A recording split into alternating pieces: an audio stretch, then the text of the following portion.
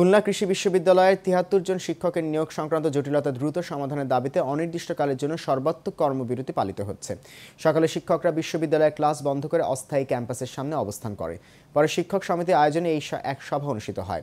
শিক্ষক সমিতির সভাপতি ডক্টর আসুজ্জামান মানিক, সাধারণ সম্পাদক ডক্টর মোহাম্মদ আশিকুল আলম, ডক্টর বিদ্যুৎ মাতব্বর, মাহমুবা, মাহমুদা আক্তার মিশু, মোহাম্মদ হামিদুর রহমান হিমেল, মোহাম্মদ হাবিবুর রহমান সহ শিক্ষক নেতৃবৃন্দ এই সময় উপস্থিত ছিলেন।